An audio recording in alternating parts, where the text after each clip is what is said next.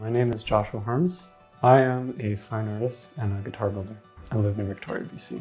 I've lived here for just over two years now. As far as like getting started with artwork, my mom was an artist uh, and my dad was a photographer. And so I always felt very free to express myself creatively, like drawing on my walls, on my cabinets, and then moving on to paper, finger painting, stuff like that. Yeah, it's just always been kind of a part of my life. When I moved here, I was looking for a sleeping bag. And so I went into the store and I just needed a sleeping bag for the next day, right? Well, I walk in there and I go upstairs and Erin's right there. I'm just chatting with her and she's like helping me with the sleeping bags. We probably just sat on the floor of the upper floor of Robinson's for like 30, 40 minutes just talking about camping trips and like giving me suggestions and just hanging out, just being really personal. Places that are willing to just really be with a customer, be personal, right? We share an interest, and it's so obvious that, that you guys are like really passionate about what it is that you do. I feel the most true to who I am when I'm making things. Everything else just melts away, and I can just get absorbed in my work time flies and I forget to eat and all of these wonderful things. And then after that, I just feel rewarded.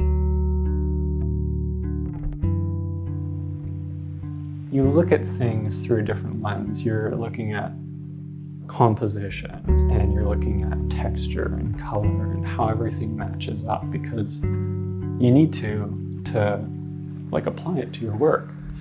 And when I go out and I go on a hike, I see that everywhere and I see inspiration everywhere. The, the trails here are just magnificent. Like the gnarly trees and the wind swept, you know, everything and the lichen. And it's just such a special place.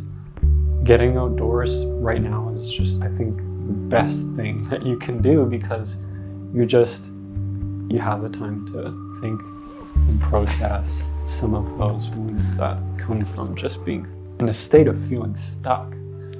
I think right now, the most sort of important thing for everyone is that we're kind of all in the same boat with this problem. We've gotten through a lot, and this will pass too.